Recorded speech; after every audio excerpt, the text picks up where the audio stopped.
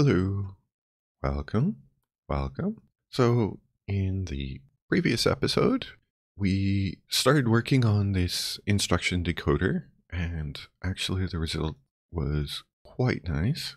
This is a lot simpler than a previous attempt at building this. That resulted in me trying my best to simplify the instruction formats as much as possible. I'm sure there's still some simplifications I could do, but I think this is totally sufficient as far as like making it really easy. So on the left, we have something that's recognizing the instruction formats themselves and giving some names to them. Uh, that results in some outputs to denote which fields in the instruction are valid given the, the current format. And then on the right here, we have something that extracts the opcode out of the instruction. So some instructions are directly encoded, like the ones that involve op3, which is really nice. But some instructions, because they have a somewhat large immediate in the instruction, then you end up wanting to do some bit packing. And that's what I'm doing here. Uh, I'm trying to put some of the opcode bits in the in the FUMP field, and then here I've put the opcode bits where the extra register would have been because it's not needed for this particular instruction.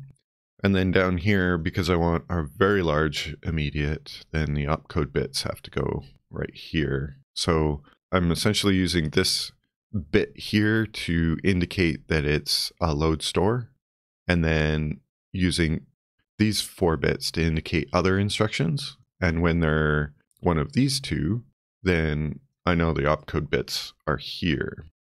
So that's what's going on there. So let's continue where we left off and see how far we can get. I'm hoping I can get this all rounded out in this video, but I guess we'll see. Where to start? Um, I think probably this makes the most sense to, to start with. Let's see if we can figure out how to do that. And I think we might have to change the way that I'm um, emitting these valid signals, but let, let's see.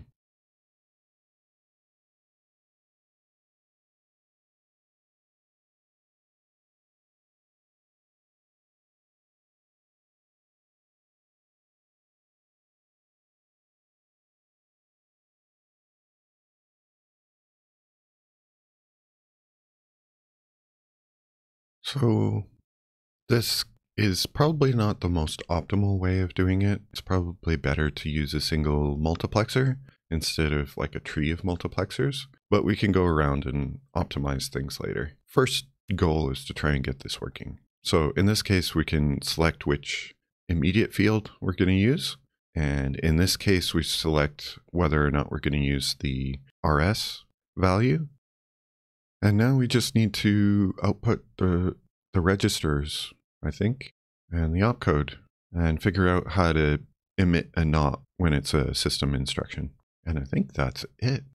We only have four registers for now. Eventually there'll be 16. So I'm just truncating the 4-bit value in the instruction down to 2 bits, just temporarily.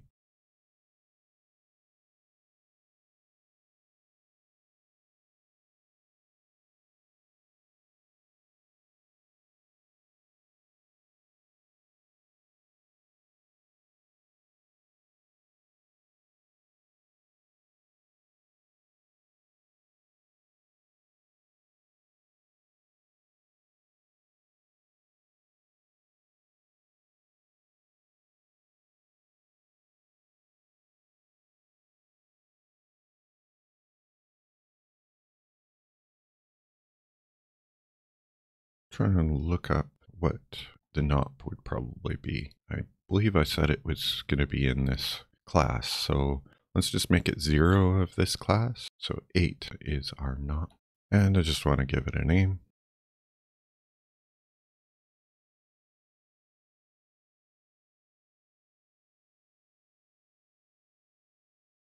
So I think the last thing to figure out is how to handle jump. Branch instructions will always have this opcode prefix. So I suppose we could just emit whether or not this opcode prefix has been detected.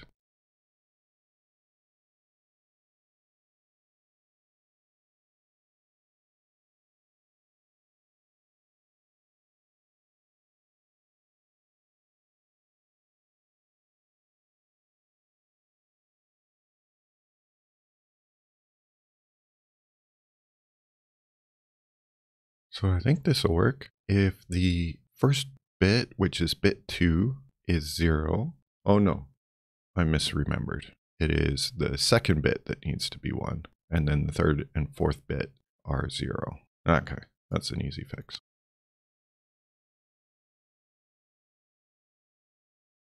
Okay, I think what's left is just to clean this up. I want to preserve the order of the outputs and the inputs, so I'm just dragging the old ones to where the new ones are in this so that I don't have to change the order when I'm done. Um, I guess you could debate which one's faster, but anyway, I'm just going to do it this way.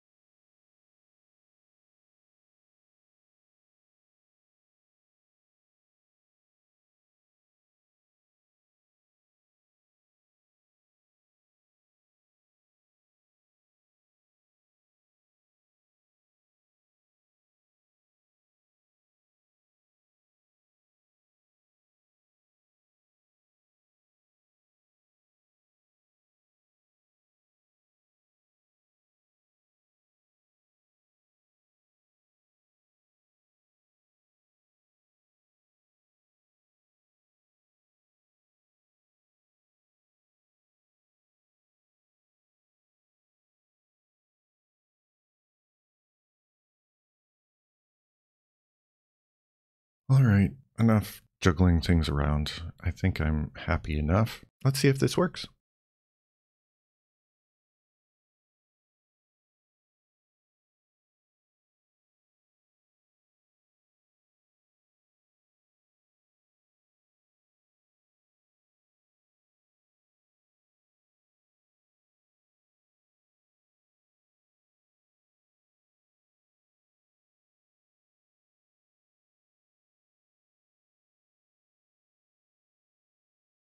Well, it turns on. That's a good sign. Let's uh, just clean up the mess over here because it looks like you can't have duplicate uh, entries in your list, which is a little annoying, but uh, eh, easily worked around.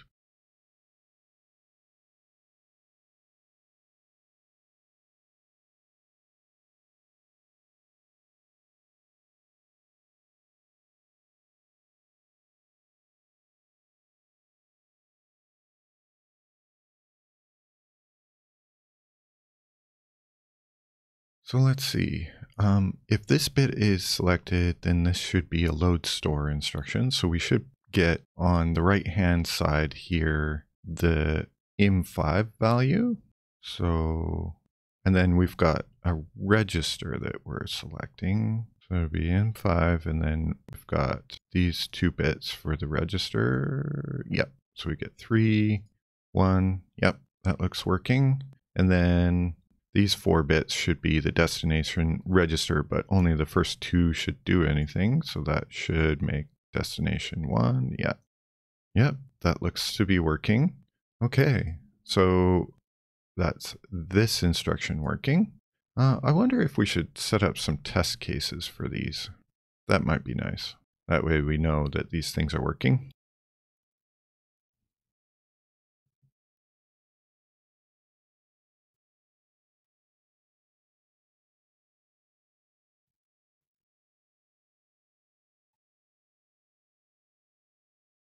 Okay, so this is how you would set up like a unit test for a part of the code. And you've got the ability to specify which inputs and outputs in the first line. And then each line after it is just like a space separated CSV. There's some more advanced things that I covered in previous episodes, but this would be the very basics that you can do. So I'm just going to do a bunch of test cases and just speed through that.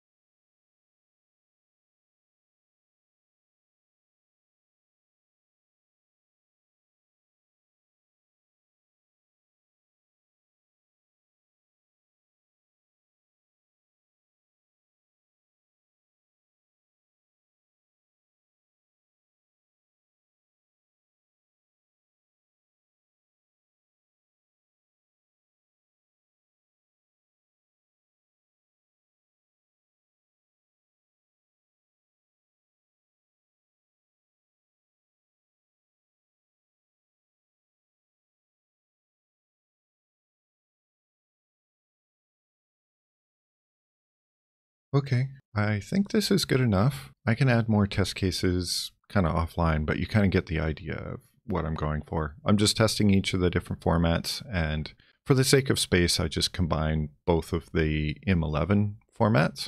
And I didn't test all of the signals.